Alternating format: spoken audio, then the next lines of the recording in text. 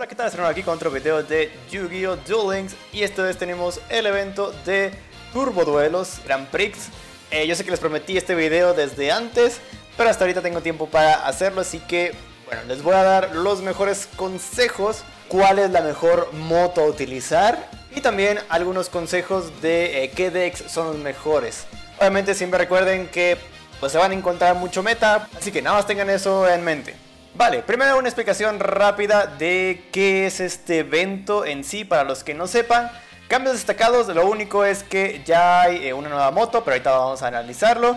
Eh, también otra cosa es que todos los días hay 50 gemas, así que jueguen por lo menos 3 duelos en el evento para que siempre consigan estas 50 gemas. Yo sé que algunos no van a tener mucho tiempo, pero incluso si nada más se meten con un deck suicida, está bien, nada más sacan sus gemas y listo. Lo que sí es que recuerden que cada vez que van subiendo de niveles, cada vez que suben de rango, pues van dando aún más gemas. Por lo tanto, pues aprovechen sus tres duelos al día. Si tienen un poquito de tiempo, si pueden gastarle unos 30 minutos, y listo, con esos tres duelos, aparte de las 50, suben un poco de rangos. Pero bueno, ahora sí volvemos a lo que son las reglas. Aquí básicamente vas a tener una habilidad además de la habilidad común y corriente que siempre tienes. Para esto vamos a ver cómo luchar en turboduelos y lo que tenemos son contadores de velocidad. Primero, cómo ganar contadores de velocidad para poder activar esta habilidad.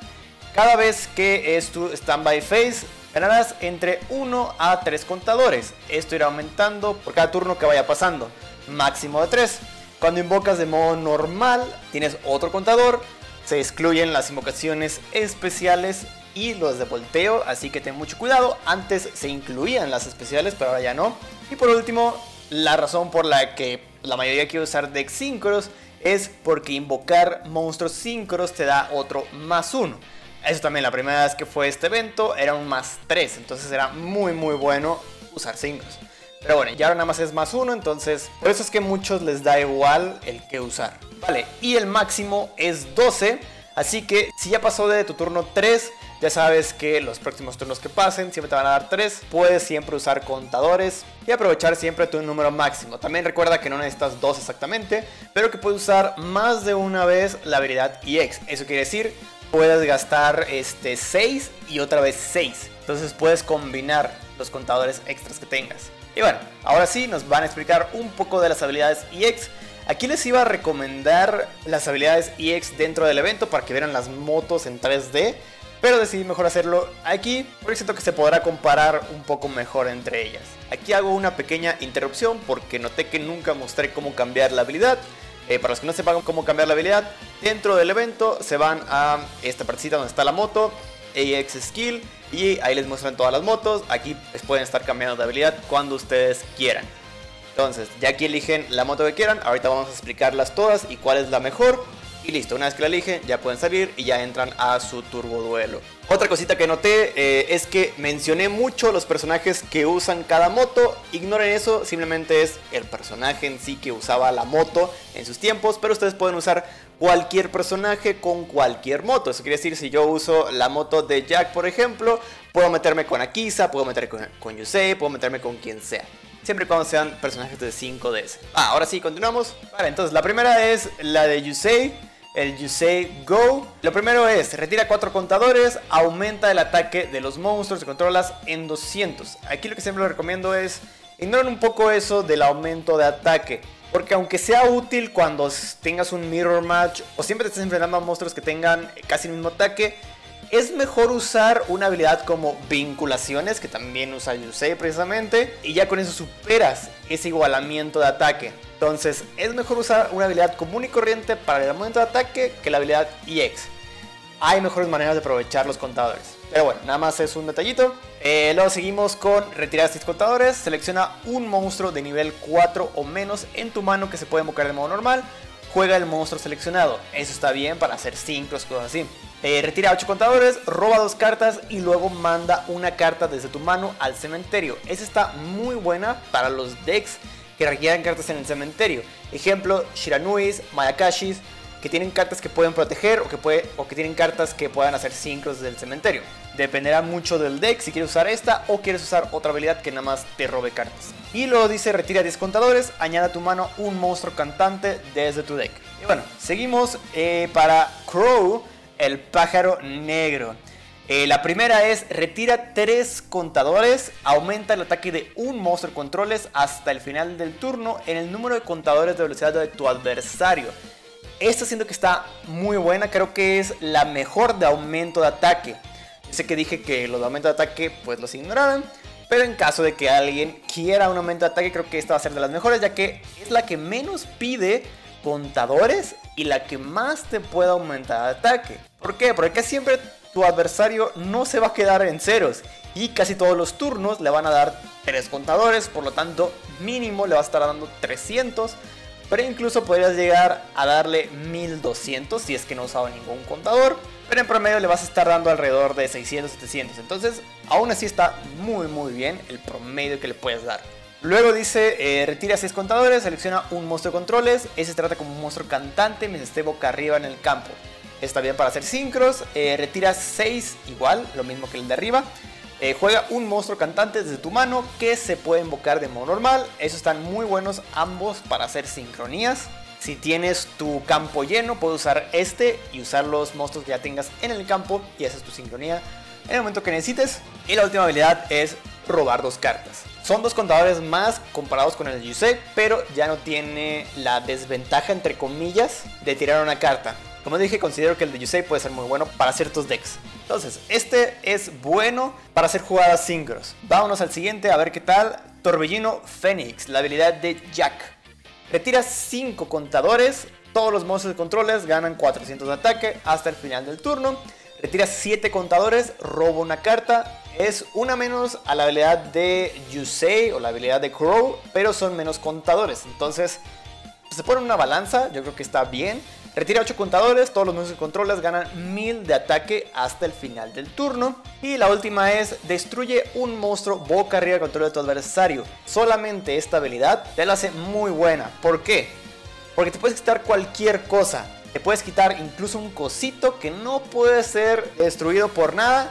No me importa, esa habilidad no es un efecto de destruir, así que bye bye. Lo mismo con cartas que no puedan ser seleccionadas, no me importa, yo te agarro y te quito. Entonces, eso es lo que lo hace una de las habilidades más poderosas. Y también, por si no fuera poco, tiene lo de robar con nada más 7 contadores por si lo necesitas. Entonces está muy bien la habilidad. Vale, vamos a ver las demás de todas maneras. Eh, Bloody Kiss, la habilidad de Akisa. Ah, estoy diciendo nombres, pero no es necesariamente que la usen con el personaje, ¿eh? Pueden usar, por ejemplo, aquí pueden usar a Jack y usar Bloody Kiss, no hay ningún problema. Solo comentando ese detalle porque siempre estoy diciendo los nombres de los personajes. Pero bueno, esta moto lo que hace es Retira cuatro contadores, selecciona un monstruo de controles, causa daño de penetración hasta el final del turno. Eh, la otra de cuatro contadores, hasta la end phase divide a la mitad de la, defensa de todos los monstruos contra tu adversario. El primero está muy bueno si estás usando, por ejemplo, Cristones, que tiene la carta de trampa que puede reducir a cero la defensa, entonces ya no necesitas esta, sino necesitas esta simplemente para poder atacar algo y ¡pum! le haces daño de penetración. Y la otra está perfecto también como para el Purgatrio, que ya hace el daño de penetración y que puede atacar a todos los monstruos. Entonces, es, esta es muy muy buena para Purgatrio. Así que igual, esta para ciertos decks va muy bien. Eh, luego retira 6, cambia la posición de batalla de un monstruo contra otro adversario. y retira 8 contadores, selecciona un monstruo de controles este puede atacar a todos los monstruos de control de tu adversario hasta el final del turno. La verdad es que esta, casi todas las habilidades viene convirtiendo a tus monstruos en purgatrio, pero si ya estás usando purgatrio, te puede funcionar muy bien la de retirar 4 contadores nada más.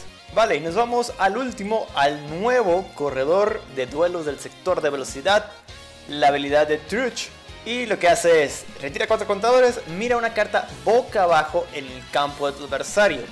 Retira 6 contadores durante el turno de tu adversario. Tu adversario solo puede ganar contadores de velocidad hasta 3 veces. Ojo, esto por como está escrito, la standby phase ya va a ser una vez, por lo tanto nada más va a poder eh, ganar contadores dos veces más. Pero eso no quiere decir de que, ah, ok, si la standby phase ya agrega 3 contadores, ya no va a poder agregar más.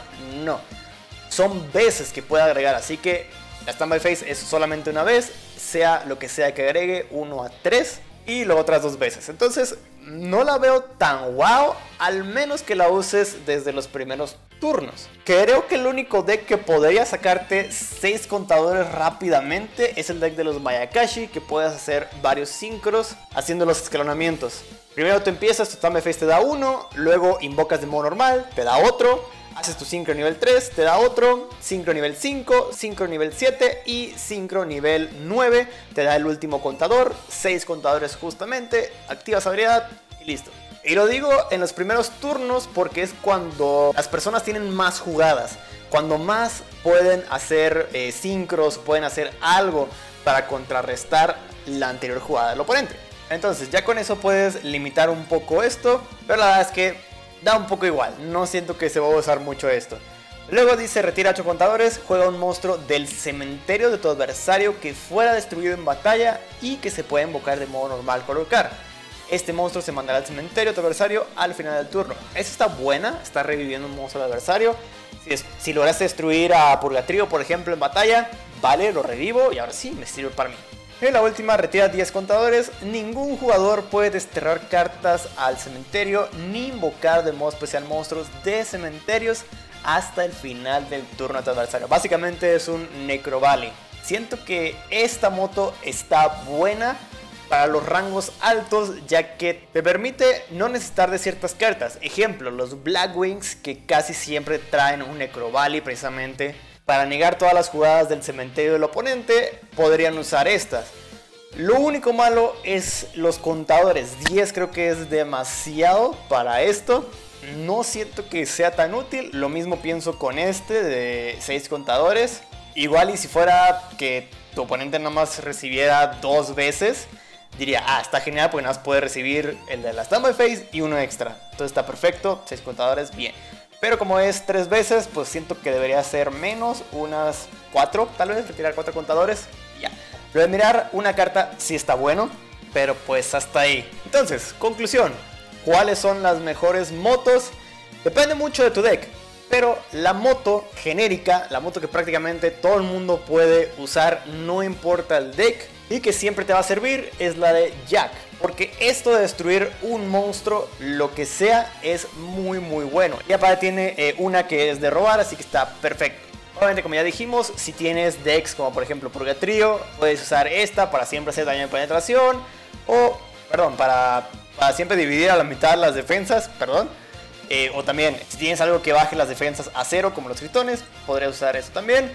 Y e igual, este para hacer un poco más de sincros. Pero bueno, ya dependerá de cada quien. Yo le recomiendo más esta por la destruir. Vale, y ahora sí vamos a las recomendaciones de decks.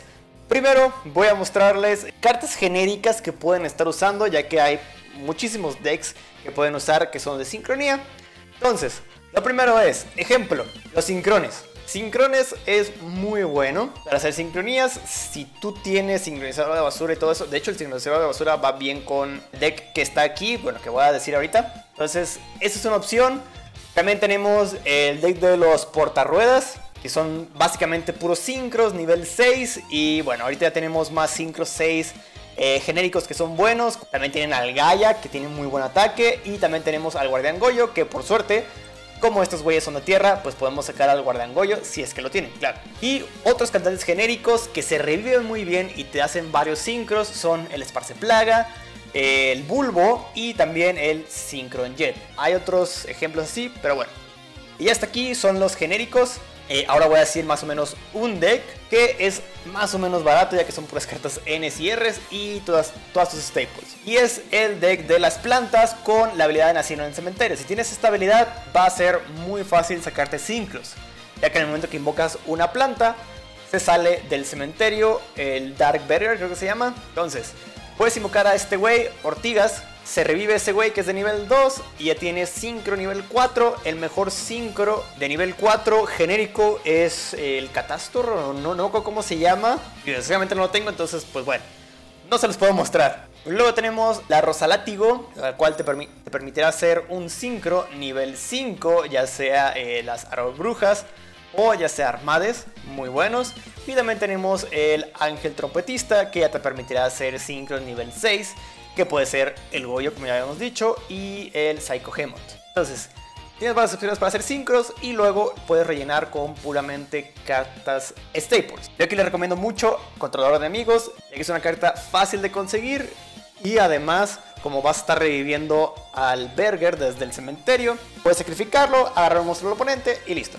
Y siguiendo con los decks que se pueden usar, eh, yo creo que el que más voy a usar va a ser el de los Six. Yo sé que es un poco viejo, y yo sé que no es tan bueno, pero está ahí de opción. De hecho les voy a mostrar varias opciones que pueden estar usando. Así es como yo lo uso actualmente simplemente para este evento. Trato de sacar lo más fácil posible a Shien para poder negar un poco de cartas de magia trampa, es que es lo más importante, y también a carta para regresar cartas.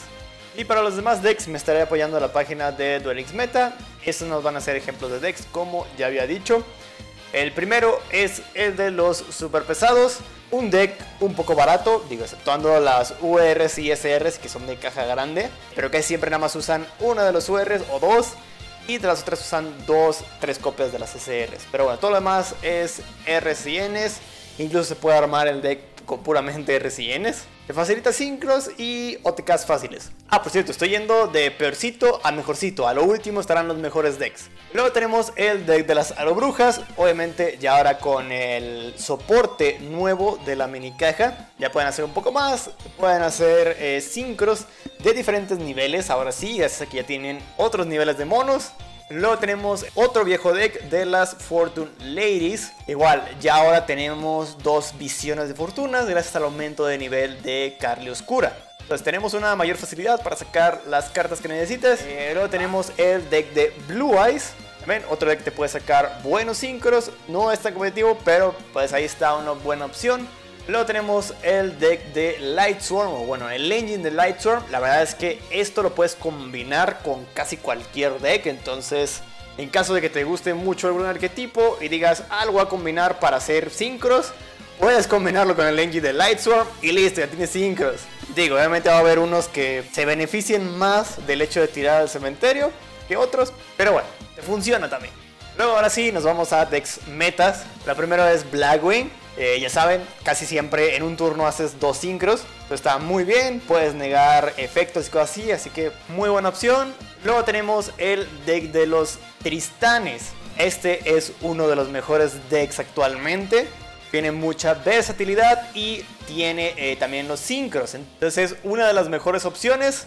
Pero nada más no lo pongo como número uno porque muchas veces los sincros los sacas en el turno del oponente. Entonces a veces quiero usar ya tus contadores Digo, no es otro problema, pero es que usar un poco de tus contadores antes y además que no es tan barato.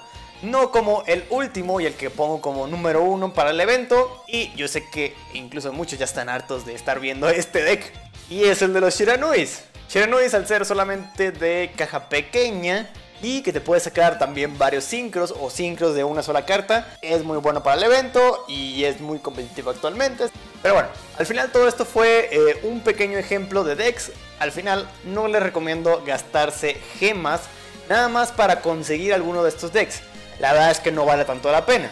Eh, lo único que vale la pena es siempre estar haciendo sus tres duelos y tratar de subir lo más posible y listo. Por eso es que les mostré el primer deck, el deck muy genérico, para que tengan un beneficio con los contadores y puedan usar pues bueno, el contador de destruir, que creo que es lo más importante. listo, esos serán los mejores consejos para este evento.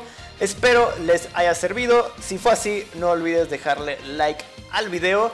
También no olvides suscribirte al canal para no perderte de más información, más videos y nos vemos en la próxima. Bye bye.